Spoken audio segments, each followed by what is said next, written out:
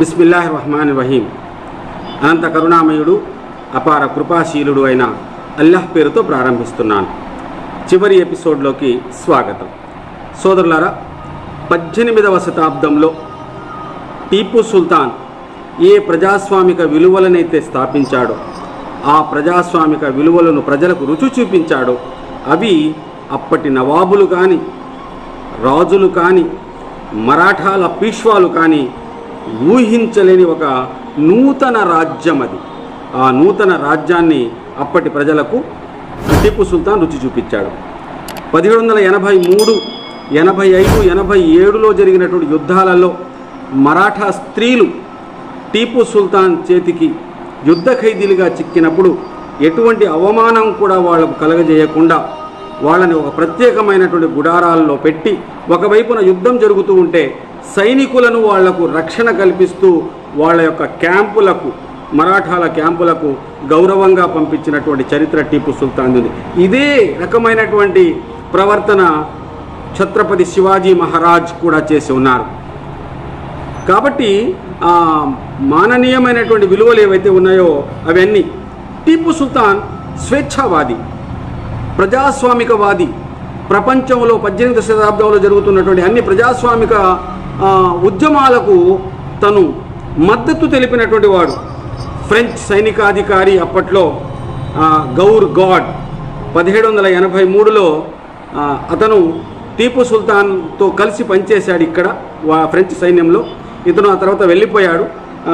బాసైల్ యుద్ధంలో పోరాడుతూ తుపాకీ గుళ్ళ కంటే ఫ్రెంచ్ బ్రిటిష్కి వ్యతిరేకంగా పోరాడుతున్నటువంటి ఆ పోరాటం అది ఆ యుద్ధంలో. పోరాడుతూ చనిపోయి టిప్పు సుల్తాన్ ఎంతగా ఇన్స్పైర్ చేశారంటే గౌర్ గాడ్ని. పోరాడుతూ తుపాకీ గుళ్ళ దెబ్బలు తిని కూలుతూ తాను టీపు కన్నా స్వాతంత్రపు సుందర స్వప్నం కోసం ఆయన ద్వారా ప్రభావితుడనై నేల కూలుతున్నాను. ఇది టీపుకు తెలియపరచండి అని చెప్పి తన చివరి వీలునామా మాటలుగా చెప్పేసి వెళ్ళాడు. మరి ఇవన్నిటి కూడా మనం అంతేకాదండి రెండున్నర కిలోమీటర్ల దూరం టార్గెట్ని ఛేదించేటువంటి రాకెట్ని కూడా రాకెట్ టెక్నాలజీని ఫ్రెంచ్ సైనికుల నుంచి నేర్చుకున్నాడు. వాటిని ఉపయోగించాడు. The first rocket man in India అని చెప్పి కూడా ఆయన్ని చెప్పవచ్చు నౌకలను తయారు చేశాడు. వాణిజ్య నౌకలు తయారు చేశాడు. ఆ వాణిజ్య నౌకలకు పేర్లు కూడా పెట్టాడు. అవన్నీ కూడా ఖిజర్ ఒకదాని పేరు హయస్ ఒకదాని పేరు. వాణిజ్య ఒకడ కర్మ కర్మాగారాన్ని పెట్టారు. ఆ నావల్ కాలేజీని భట్కల్లో పెట్టాడు.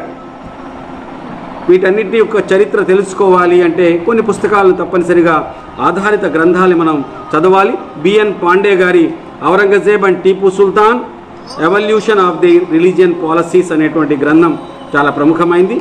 దాన్ని చదవాలి. The Sringeri letters of Tipu Sultan. Sringeri Math నుంచి వీళ్ళిద్దరికి జరిగినట్టు కాన్వర్జేషన్స్ ఆ లెటర్స్ కూడా ఉన్నాయి.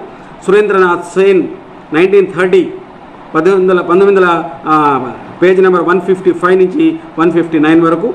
New light on Tipu Sultan journal of Andhra hist historical research Shetty Subra Subraya Gupta గారి యొక్క రై- రైటింగ్స్ ఇవి. అట్లాగే JR Henderson the coins of Hyder Ali and Tipu Sultan ఇది ఒక పుస్తకం పేట్రియాట్ అనేటువంటి పుస్తకం సునీల్ చోప్రా గారిది.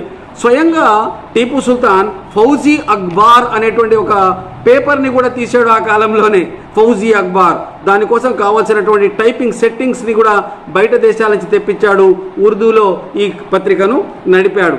దాంతోపాటుగా the history of British India the greatest prince of the east James Mill రాసినటువంటి పుస్తకం.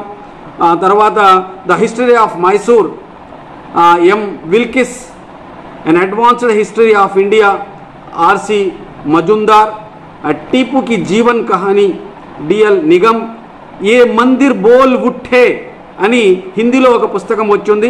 ఆ పుస్తకంలో ఔరంగజేబ్ మరియు టీపు సుల్తాన్ ఇద్దరు ఏ ఏ మందిరాలకైతే కానుకలు తమ బహుమతులు ఇచ్చారో ఇనాములు ఇచ్చారో వాటి యొక్క లిస్టు కూడా ఏ మందిర్ బోల్ ఉట్టే అనేటువంటి పుస్తకం కూడా ఉంది. దాన్ని కూడా చదవచ్చు.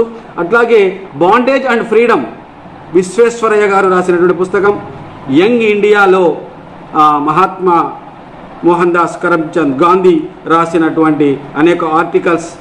అట్లాగే Tipu contribution to rocket technology professor N Narasimhaiah వీరందరి యొక్క పుస్తకాలని మనం ఇవి కాకుండా ఆంగ్లేయులు రాసినటువంటి అనేక పుస్తకాలు ఉన్నాయి. టీపుకు వ్యతిరేకంగా రాసినటువంటి వాళ్ళు కూడా ఉన్నారు.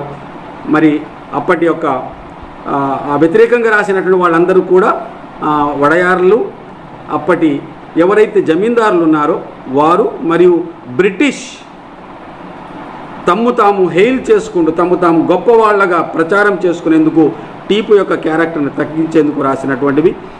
ముంజేతిని ఖండించిన పట్టిన కత్తి వదలను అని చెప్తూ తాను ఏ మాతృదేశం కోసంగా అయితే శపథం చేసి రాజకీయ రంగంలోకి పరిపాలనా రంగంలోకి వచ్చాడో ఆ శపథాన్ని నెరవేర్చుకుంటూ మాతృభూమి రుణాన్ని తీర్చుకుంటూ పదిహేడు వందల తొంభై తొమ్మిది మే నెల నాలుగో తేదీన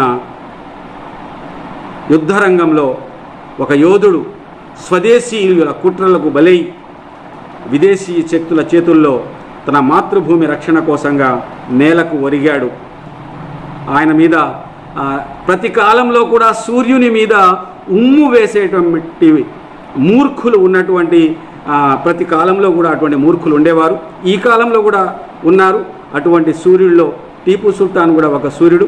అతని మీద ఉమ్మేయడం అంటే ఆ ఉమ్ము మనం మీ మన ముఖం మీదనే పడుతుంది అనేటువంటి ఆ విషయాన్ని తెలుసుకోవాలి అని చెప్పి టీపు పట్ల విద్వేషాన్ని ప్రచారం చేస్తున్న వాళ్ళకు మరోసారి విజ్ఞప్తి చేస్తూ ఈ ఎపిసోడ్ని ముగిస్తున్నాం. అస్సలం అయికం వరహమతుల్లాహి వబర్కాతు. మీరు ఎవరైతే కొత్తగా వీక్షిస్తున్నారో ఈ ఛానల్ను సబ్స్క్రైబ్ చేసుకోగలరు.